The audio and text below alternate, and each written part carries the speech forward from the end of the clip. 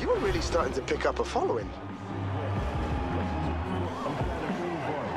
For the culture.